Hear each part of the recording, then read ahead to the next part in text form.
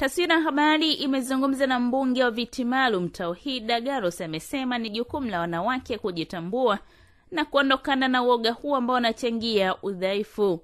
Ameongeza kuwa wanapaswa kufikiria namna ya kufikia ndoto zao katika kilimo kwa kufikiria mawazo makubwa zaidi. Mwanamke kila siku umekuwa na udhaifu.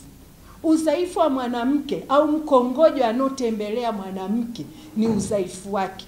Mwanamke kila ukimkuta leo anakwambia mi siwezi, mi siwezi. Ile siwezi anainama nayo na anatengenezea bakora ya kutembea nayo. Mi mkulima tu, tena mwanamke, mi mkulima siwezi, mi mkulima mdogo mdogo. Leo wakikaa wenzetu waliotutangulia katika masuala ya kilimo, anasema wewe ndio unaolisha nchi. Mwanamke hupaswi kujisikia dhaifu kila dakika zinavyokwenda. Mwanamke amezaliwa kuwa kiongozi. Ukiwa shambani, wewe ni kiongozi. Tena nikwambie, una ujasiri wa kutosha, una uwezo wa kutosha. Nikuoneshe maajabu ya mwanamke alivyo, kwamba ana uwezo wa kwenda shambani, akirudi atwange mahindi, anaweza akatafuta na mboga muda huo, watoto akala. Mwanaume hawezi.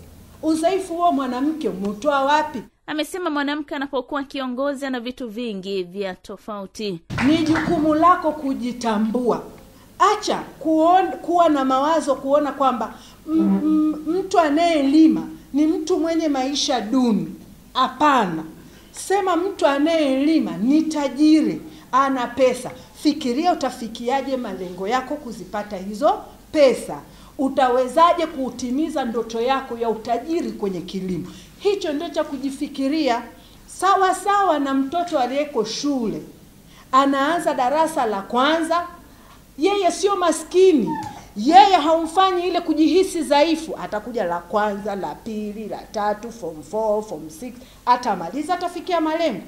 Unapoanza kuwa mkulima mdogo, jiangalie na fikiria mawazo makubwa zaidi, hususan ukiwa mtu maalumu, mwanamke jipandishe mwenyewe daraja.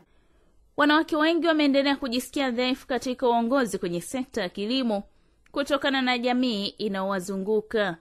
Mindi Josefu, Dodoma TV.